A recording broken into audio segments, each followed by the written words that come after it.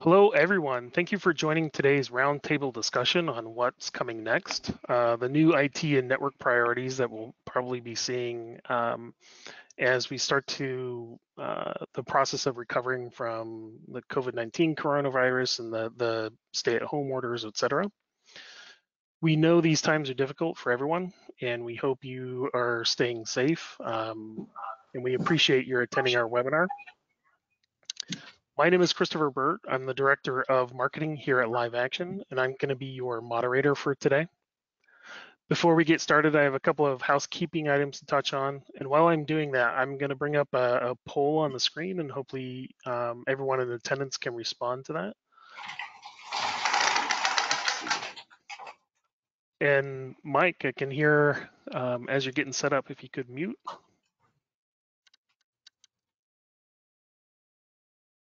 Let's see. Okay, so that should be on your screen now. So our goal for these sessions is to foster the communication within the IT and network management community on solving the problems and issues that are likely to surface for many companies over the coming months.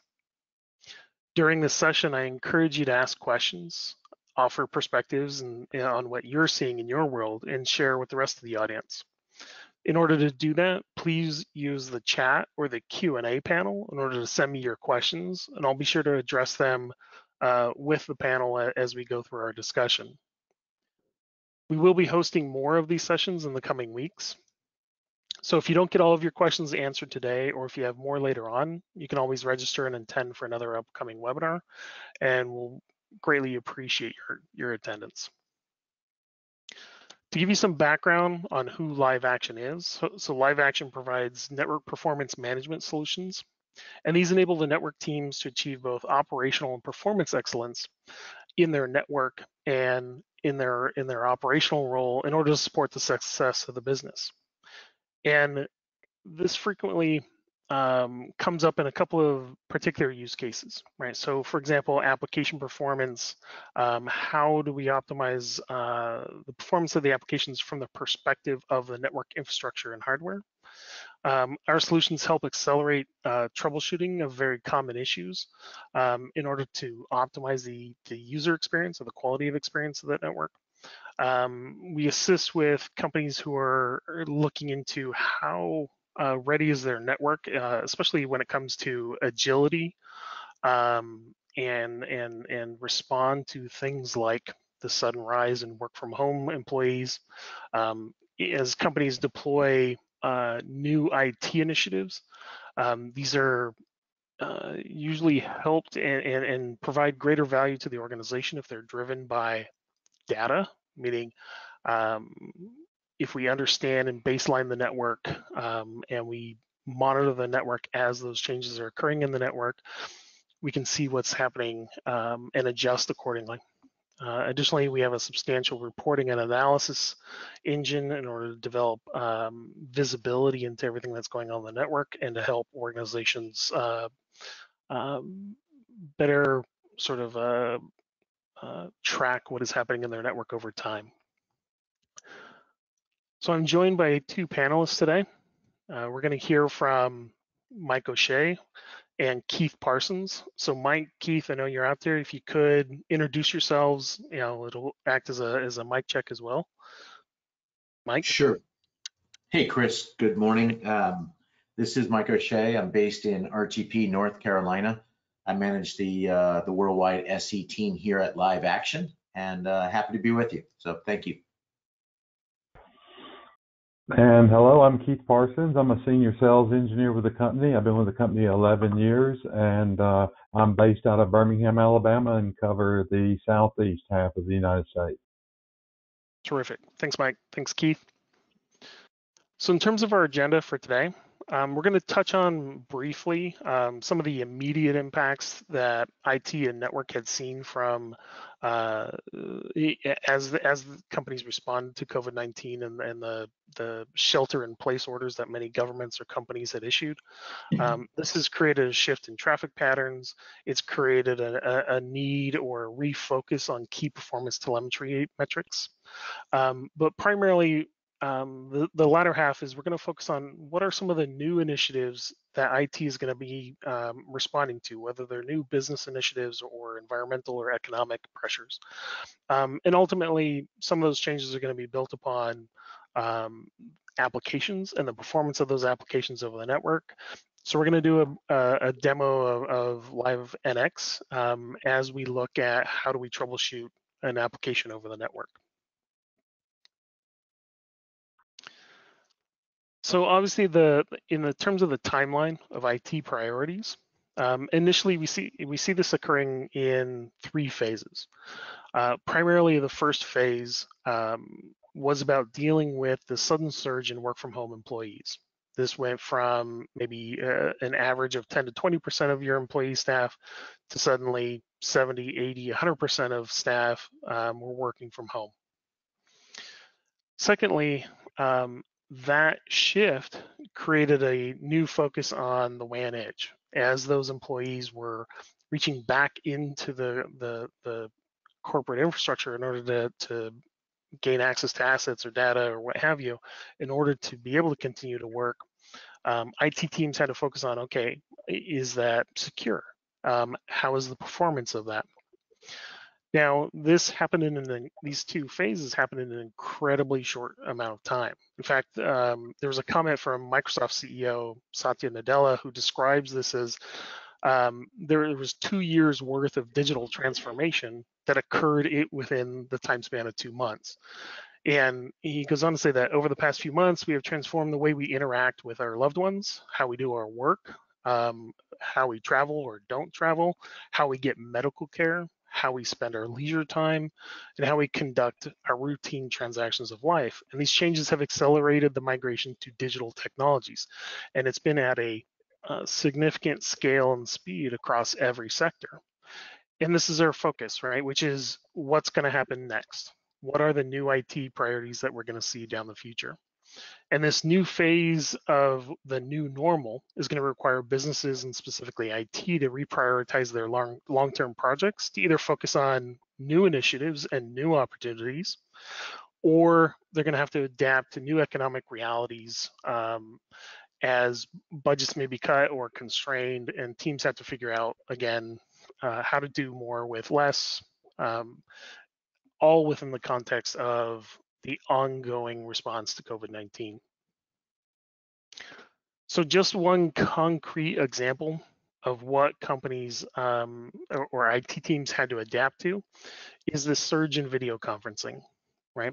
Um, for example, in, in Cisco's WebEx, they're seeing an extreme upsurge in, in meetings, meeting attendance, uh, meeting attendees in the month of March. Zoom is seeing incredible growth, and GlobalMeet is also seeing incredible growth out in the Asia Pac region. And this format of conducting business at a distance is, is substituting or augmenting what would have occurred over business travel or canceled trade shows and events, distance learning for education, or telehealth or telepresence approaches for healthcare. And this this spike of these stay-at-home orders um, is having a, a, downstream effect on IT as well, and IT has to be able to support this. So this is causing new traffic patterns to occur within the network, um, primarily if employees were internal to their own uh, corporate network. A lot of that traffic would be occurring over the LAN, the campus network, Wi-Fi, etc. But primarily now, everyone is external, both employees and customers, and that is shifting the traffic to where it occurs um, and where IT teams and network teams need to focus their attention to in order to maintain that performance. And so um, it is critical that teams maintain visibility of that performance in order to be able to ensure that those services are available and functioning for those employees. So, it, you know, at this point, I want to open this up to our panel, and I want to hear from Mike, and I want to hear from uh, Keith as to what they're seeing out there. Um, and if we can go in that order, that would be great. Um, I'm also going to bring up the results of that first poll question. And during the conversation, I'll, I'll open up a, a, second poll that will lead us into our next topic. So Mike, what are you seeing out there in terms of how customers are responding um, uh, to the changes in, in, in business priorities. So, uh, Chris, is, I think it's a great question. And, you know, I, I think that uh, early on, uh, there, the, the change was, um, you know, disbelief. Uh, then it turned into fear. And now it's kind of turning the, the, the page and it's going into, um, you know, a need to, to move forward.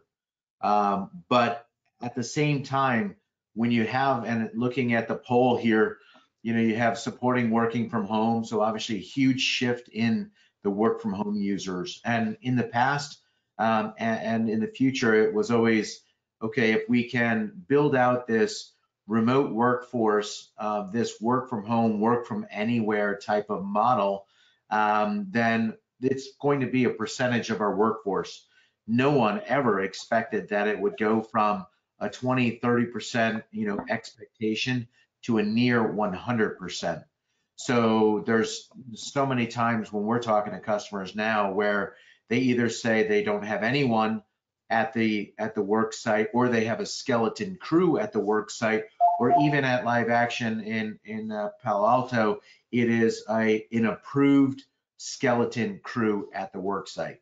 So there's a ton of changes um, just where people work uh, and I think the remote access is one of the biggest things.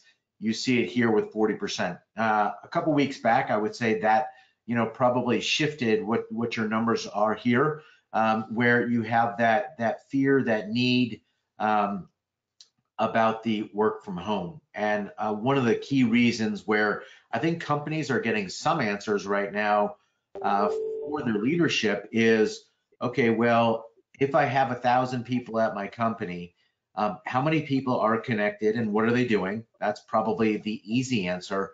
The much harder answer that they certainly want to know is how many people are not working.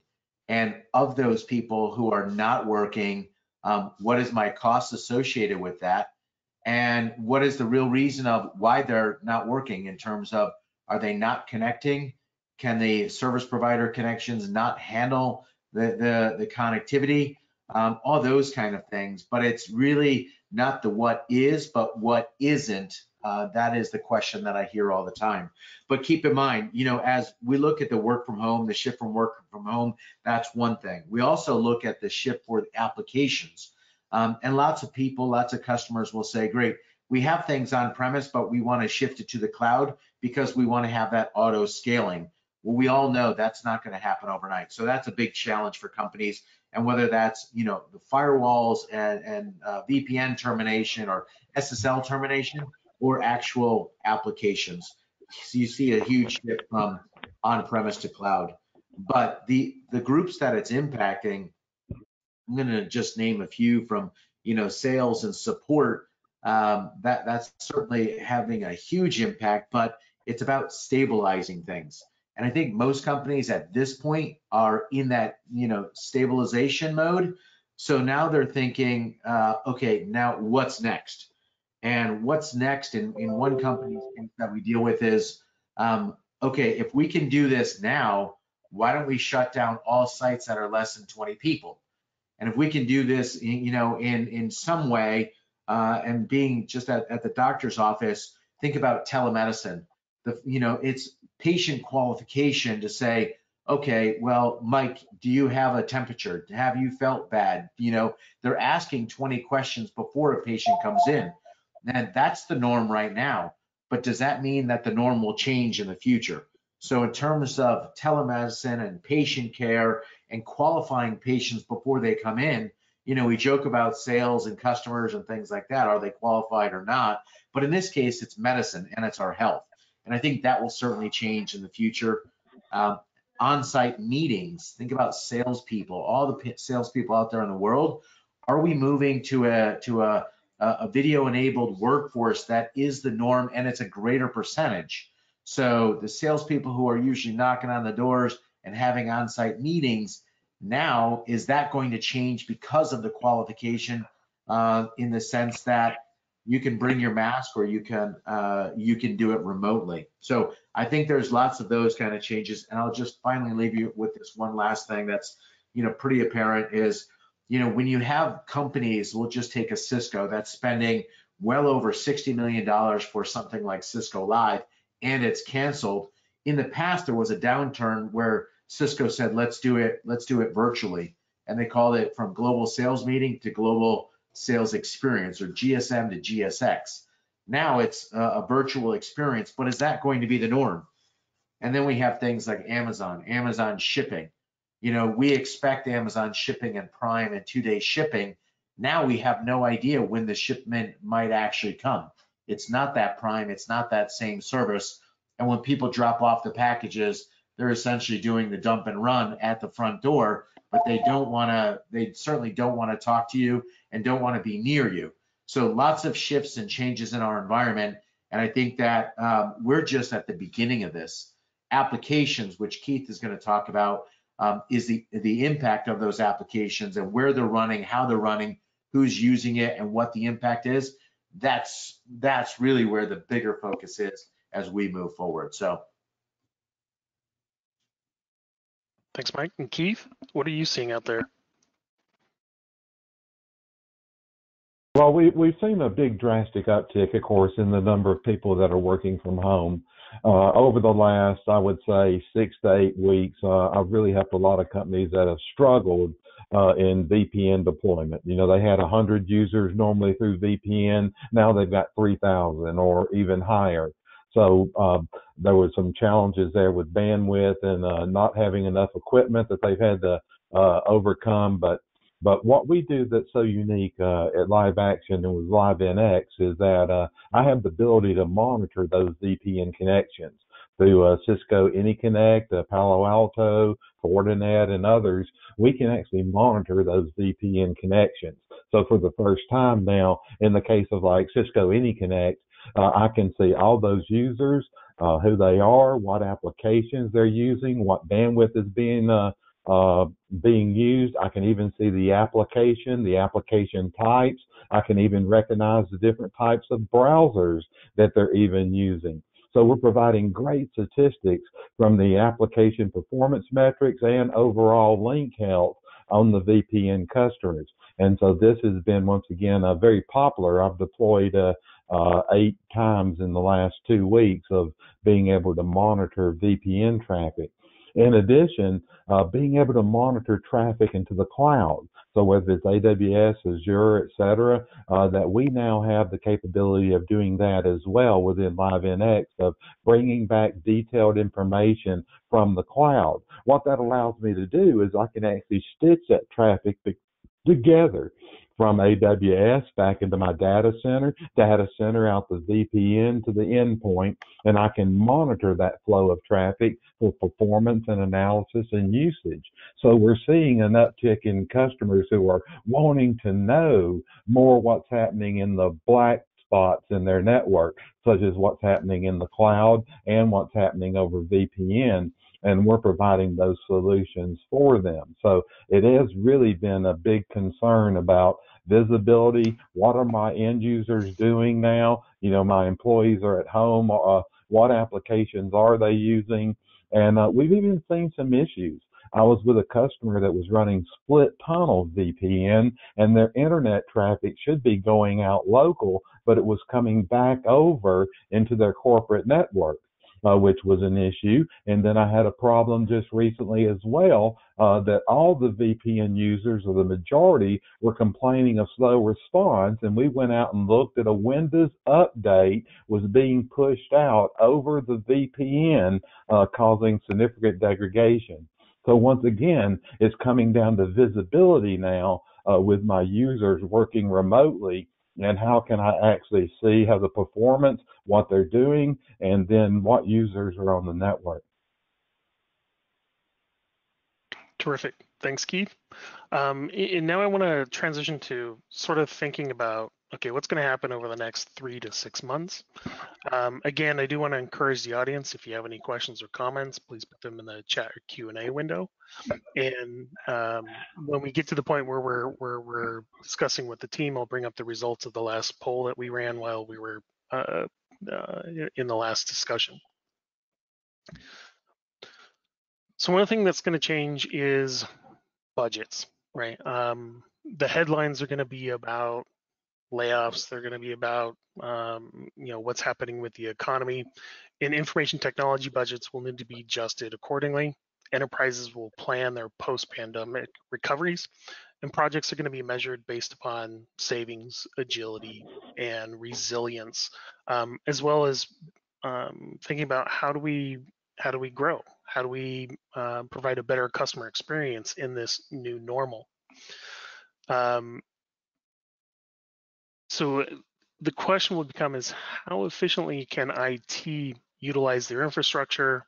How uh, efficiently can they use their their tools? How efficiently can can people and personnel be used?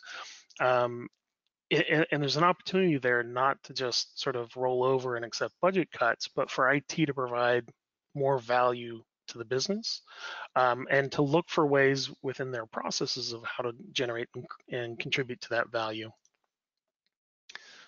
So because necessity is often the mother of invention, the pandemic could bring some positive outcomes, right? Um, individuals, communities, businesses, and governments are all gonna learn new ways to connect with each other.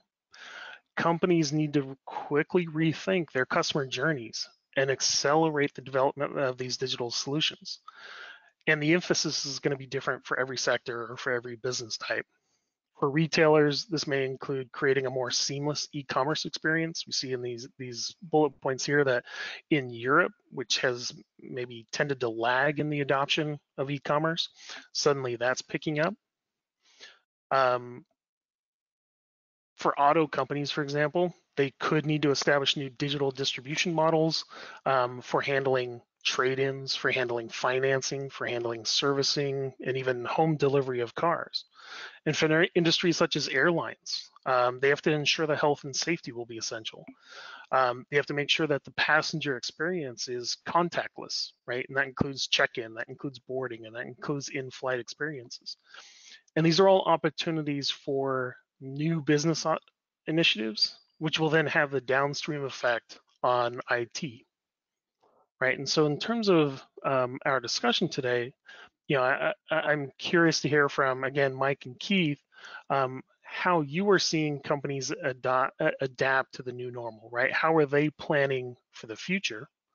Um, and as I bring up the results, you'll see that, that there, there's a pretty even split between um, you know, still continuing to support those work from home and, and collaboration tools, but also suddenly there's going to be the shift to initiate and accelerate projects that adapt to this new normal.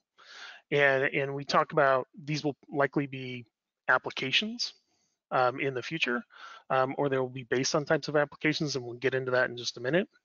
Um, so Mike, Keith, um, I see Keith may have some technical issues right now, but we'll get him back on there. Uh, Mike, what are you seeing out there? Yeah, hey Chris, I, I think the the response to this to this question is very similar to what I'm hearing with the customers, and, and here's why I say that. Um, you know, in in the past, it, I think many many customers out there uh, are looking to do uh, you know, new things, drive new strategic initiatives, new applications, implementation, new systems for all sorts of things um, in their business. That's all new. Acquisitions are new. Uh, mergers are new. Uh, I have one company that everyone probably knows that uh, a huge entertainment company that is moving into a huge facility, and all that's been put on hold. So the reason why I say that these these responses are similar to what uh, I've seen is uh, most companies have much of their new things put on hold. It doesn't mean that they're going away, but for the majority of companies, they want to get to the stabilization. And one of those things is, which you had on the screen just a second ago, it showed, it showed, um, you know, the people working from home. So they need to, they need to get to that, that level where, and maybe unlike before, where, you know, that shift of, uh, you know, working from home is the norm, but the, the leadership at these companies need to make sure that the ability to do that, the bandwidth to, to uh, have, you know, for their connections and where, you know, how things get terminated and where it is and, and just the stability, they need to make sure that is now rock solid. Before it was kind of a, you know, yeah, maybe we have 20% or 30% uh, work from home, maybe even 40%, and we'll just have to figure out if our firewalls can handle that, if our SP connections are sufficient. And it was, you know, it was a little bit loose. Um, these days, I think that shift from new uh, strategic initiatives is going from that into let's make sure whatever we have is rock solid. That's number one. And um, and then Chris, if you want to just show that show that screen the results that you had, if you would. Yeah. So um, so that's really that stabilize. Make sure whatever we have, it is rock solid. Not you know let's go jump to five other projects and have you know uh, so many things in the hopper and we're trying to nail it down and fix it and and grow it over time which will take you know it could take six months, 12 months, 18 months. I think really what's happening is whatever we have, let's close it out, let's verify it, let's document it, let's make it rock solid. So no matter where the workforce is, we know we can work. That's one of the main things.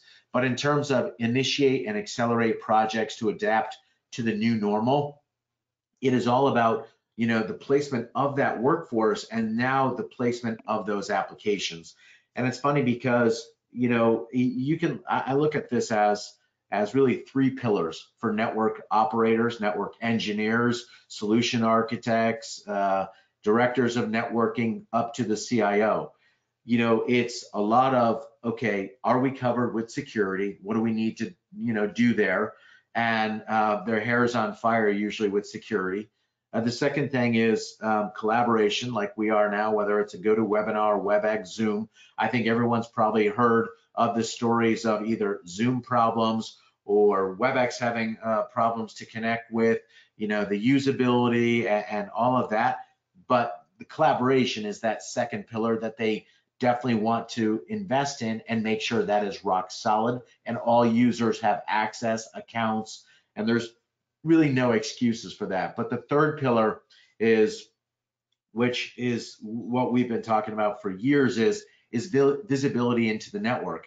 And no longer is it just you know an operations thing uh, or or you know an architect thing in terms of new projects. Now it's an everything. It's part of everyday conversation because the workforce that they have will it be the same today as it is tomorrow? Um, are they hiring? Do they stop hiring? Um, are, or are they reducing? So, you know, the, those questions are always on the back burner of the leadership team. But then if the, it, you know, whatever the workforce is for those applications, are we, are we maintaining the revenue? Are we slightly down or are we growing and investing in a, in more of a, a, a tele, telesales, WebEx sales um, kind of workforce? And do we change our, our go-to-market strategy in terms of the mix? Maybe maybe more you know virtual and less physical. Um, those are constant conversations, um, but I think the applications and visibility as that third pillar is not just on the you know back burner as it has been in the past. It's a kind of a necessary evil when you buy uh, a thousand, hundred thousand, or million dollars worth of networking equipment from any one of the vendors, but now it's a requirement to know where things are. So just like I said before about those VPN users, making sure everyone's rock solid and can working and work, um, it's the same thing with the applications. There's too much money invested in the applications to not verify and validate that everything is working optimally. So operational excellence um, it's not just uh, it's not just a marketing term. Now it's a requirement. That's what I'm seeing And I think with the with the reporting and the capabilities of the dashboards and that kind of thing uh, that that LiveNX provides um, is front and center to all of this. People want to see data, and a picture's worth a thousand words. If you don't have that, and you think you can run to you know every router, every switch, every firewall out there and run some CLI commands, um, that's that's you know days of the old. Now it's you've got to verify. It's got to be proactive you have to run schedule reports and you have to drop it in the inbox of the leadership team to verify. That's really what's going on. All the new stuff is, is, is it's on that. The new stuff is now on the back burner.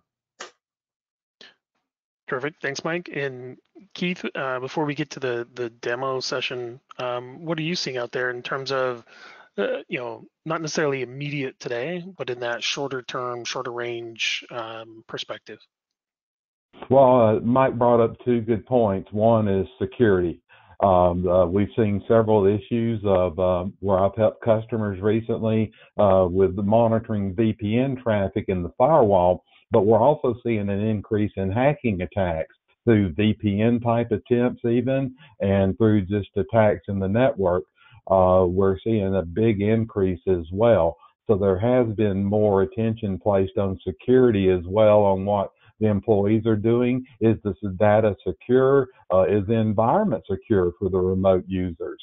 You know, I have, uh, uh, just to mention my wife, she's working from home, but she works in uh, the healthcare industry, and they require her to have a separate locked room for her to work remotely from. That all the information that she works with uh, for Medicare is still secure.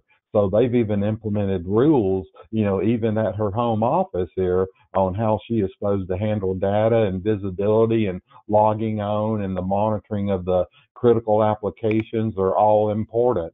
You know, I've seen some companies here recently that had money in the budget to do other things infrastructure upgrades or replacing switches and routers. And when this hit, all their money got dedicated toward, like I said, having to install multiple firewalls now to handle the workload, uh, increases of bandwidth as well uh, to also handle the shift of people working at home. And so there is a lot of interest in, as Mike mentioned, reporting and analysis of what is going on in my network right now. I just got off of a call to come on this call, and the, the issue is that everybody has shifted from the data center going through to back going through the WAN, and they need visibility there desperately uh, that they didn't have, and we're providing that with them now through a, a proof of concept, and they're just amazed at what issues that we're finding. So visibility is becoming very important for us and other users, and that's something that our platform does very well is uh, give that end-to-end visibility and analysis of applications, new applications, and as I mentioned, all the way back to the cloud where a lot of this traffic is going today to be able to monitor true end-to-end and see where problems may lie. Got it. Thanks, Keith. Um, so yeah, so I'm, I'm going to trans transition now to, um, you know, let's do a demo. Um, and, and, I'll shift the presenter screen to you, Keith, in a second, right? But I want everybody to remember, um, we're going to focus on one aspect of our solution, which is primarily around uh, voice and video applications. Um, this is pertinent for things like uh, video collaboration, voice and video calls, VoIP calls, etc. Um, but in the broader context, um, applications are the way businesses are going to be creating value. Um, uh, you know, even greater focus on, on creating value moving forward. And so this can apply to um, other potential aspects of your network. And certainly there's more to the product and, and we'd love to have a conversation with you if you're if you're having issues in your network as well. So Keith, I'm going to change you to the presenter um, let's see. Here we go. And I also want to be sure to encourage our audience um, while Keith is giving his presentation. If you have any questions that you'd like Keith to answer, um, go ahead and enter them into the chat or Q&A window, and uh, I'll bring them up to, to Keith and we'll be able to answer them during this session. So Keith, are you able to present and show your screen? Uh, well, I should be sharing it now. You should be Here seeing it. Okay. So, so everybody who's uh, everybody is not familiar to LiveNX. Uh, LiveNX is a network monitoring and performance analysis platform. So uh, we have multiple views into our platform. Uh, we have views for NOC engineers, as an example, uh, that can use the dashboards and the overviews and and see how the status of the network is and generate reports. And the engineers have the engineering view. So what we're looking at here is a series of devices in an MPLS network. So the circles represent routers and switches. So see, I'm from Birmingham and see, here's my Cisco router or any vendor's router, it would appear. And the smaller circles are the interfaces. You see, you can see the bandwidth measurements. The square indicates a QoS policy and the amber indication indicates a problem an interface drop, class drop, queue drop, or congestion is occurring on these devices that are amber. We send al- alerts that are very detailed. See media loss event, interfaces down, class drop rates, high retransmissions. All of this is being done through NetFlow coming from the routers and switches. So I'm alerting you on conditions that are occurring through the network. What is unique is that the lines you see are the actual applications flowing through the network. So web is green and internet is red and voice is yellow. And we can see those conversations, every single conversation coming on and off your network. I now have, and I can drill down to a path analysis. Uh, so as an example, as I mentioned, I'm in Birmingham and let's look at the voice traffic from Birmingham. Notice in the topology map that I will actually draw the path. See, using NetFlow, I can see the uh, the conversations going through the router, over the cloud, into my data center, into the back end. Now, what is unique is that for those of you who are familiar with quality of service, I can see the class markings. So most of the time, in 99% of the networks, voice is protected through quality of service. So it's in its own class, it's protected, and you know it's secure to being drops and things of that nature. But notice in this example, the red line indicates the EF class of service for voice. And so from the data center all the way to Birmingham, my traffic is being protected the way it should be. But leaving Birmingham, the traffic is blue for best effort, indicating it's in the class with YouTube and Facebook, which is not where I want my voice traffic. Now in Birmingham, on this interface, we should have a QoS policy. Notice I can, with our platform, jump to Birmingham and look and see there's no policy at all. One of the features of LiveNX is that I can deploy quality of service. So I can create my own policies. Uh, you can use my templates that are based off Cisco best practices as an example, or in your network, as me being an administrator, I can actually pull the policies via command line and apply the policy to this interface without having to push out those hundreds of lines of code. Now we can analyze the policy, go in depth, uh, that we can show uh, uh, in another demo. But I want to show that as we go back to the analysis, that there's also an amber interface in the path. You see on the egress side, if we drill down and take a look at that interface, what we can see is a breakdown first at the top of the screen by application. Over 1,500 applications I can break open. So I can see the WebEx, I can see Zoom, I can see Microsoft Teams, I can see Skype, I can see any RTP traffic, whether it's video, teleconferencing, can all be monitored through the network very easily. At the bottom of the screen is a shaping policy for quality of service. And notice the voice class is amber, which is our way of showing that it's dropping traffic in that class. So you see, that's not good, is it? That we're dropping at 80K. So that's going to certainly cause voice problems. As an administrator, I can adjust the output QoS and see at the top of the screen, voice has priority queuing, but we only reserved 8K. we're dropping 80K worth of traffic. So I need to allocate at least 90K. The pie chart shows I didn't oversubscribe the circuit. 7% is still available. Preview the CLI for changes because you may have to do change control. But I'm going ahead and saving to device to modify that policy instantly on this device. This is all backed up in reports as well. So CPU, memory, bandwidth, utilization, applications, drill down to users is all there. And we have that capability of being able to drill down and see every conversation for as long as you'd like to store the data.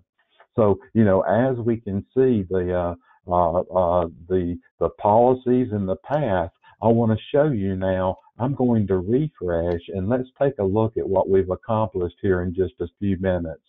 Look, the traffic is now in the right class in both directions all the way through. All green interfaces in the path means there's no interface drops, class drops, queue drops, or congestion. So very easily, I was able to troubleshoot a voice over IP problem that's going through the network. So any application problem can be examined as well. So whether it's WebEx or, or what application you have, I have the ability of going out and doing a snapshot and looking at all those conversations coming through the network. See, I can filter and drill down on a particular conversation or user. Bob just called from Seattle and said he's having problems. I can do flow.ip in the upper left corner and put in his IP address and see instantly drill down to Bob and find out what's going on. So let's filter down and there's Bob and see in this example, uh, we can see the traffic marked red in one direction, but blue in the other. We've lost our class markings with the service provider uh, in this particular example.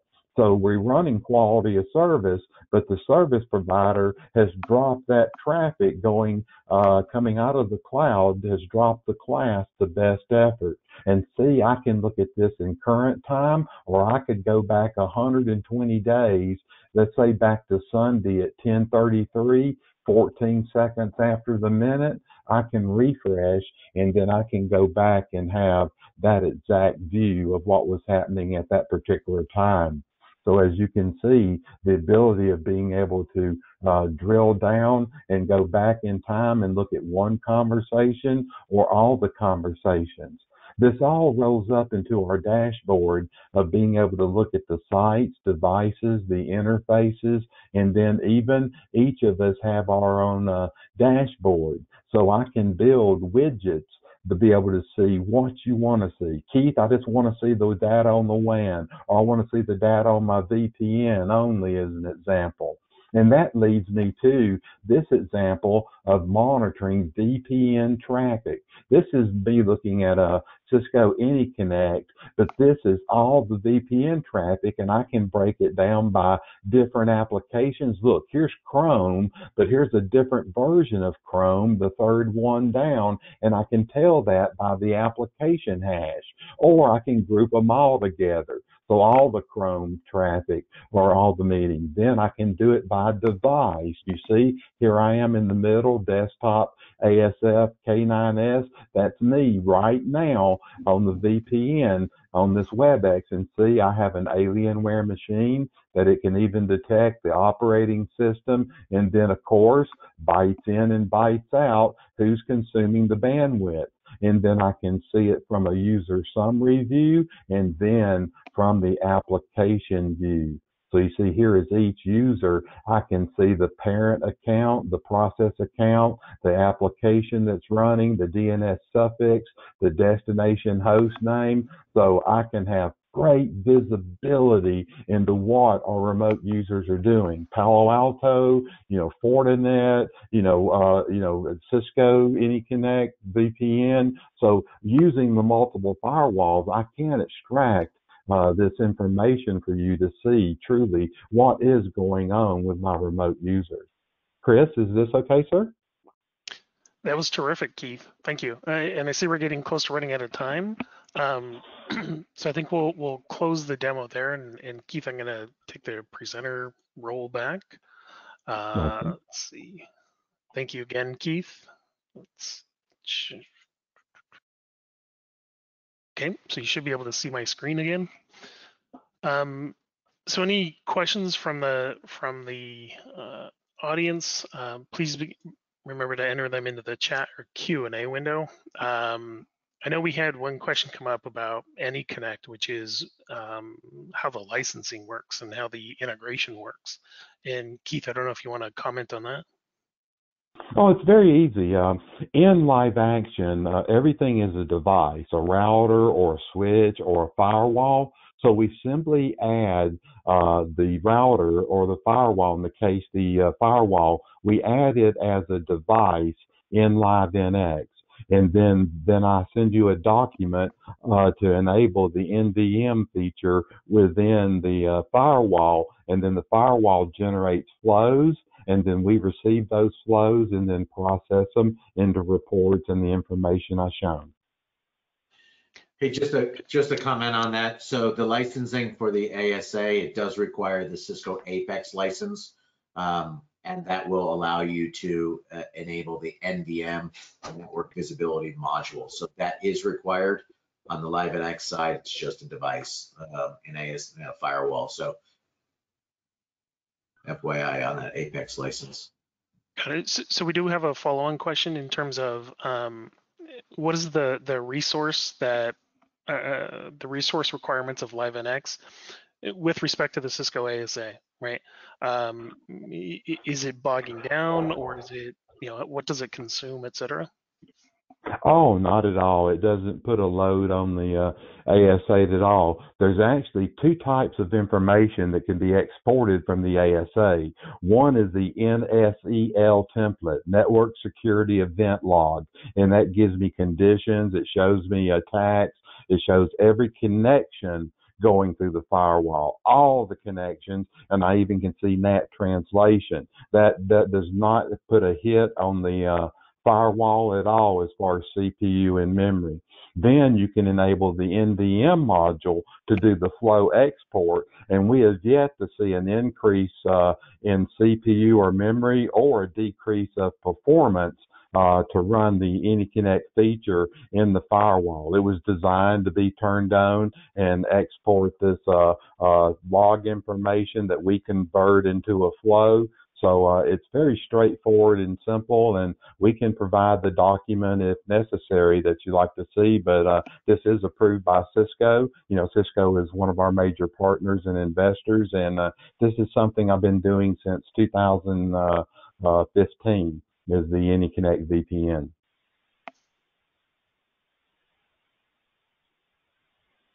Whoop, got it. Thanks, Keith. Um, so I'm gonna transition here. Let's see. Let me do a little bit of housekeeping just to make sure I'm showing all parts of the screen. And the button click is not very responsive. Yeah, we can see your screen. How can we help, Chris? Oh, um, every time I, I try to change the what I'm presenting, it's just a little slow. Let me, uh, uh, here we go. There, is that better?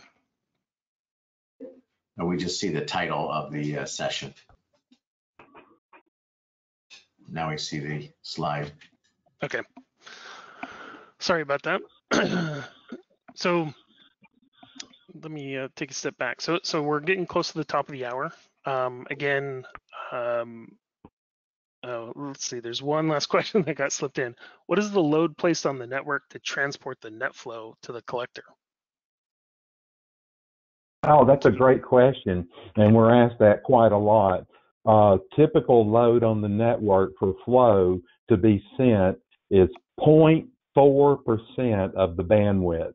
So if the circuit was the uh, uh, was running at 100% utilization, uh, we would be 0.4% of that utilization to send the flow records. Got it. Okay, Keith. So um, we are getting close to the top of the hour. Um, I do want to remind everybody, um, you know, we are here to help. right? If you have additional questions, if you if you need additional follow up, um, we can have that conversation multiple ways, right?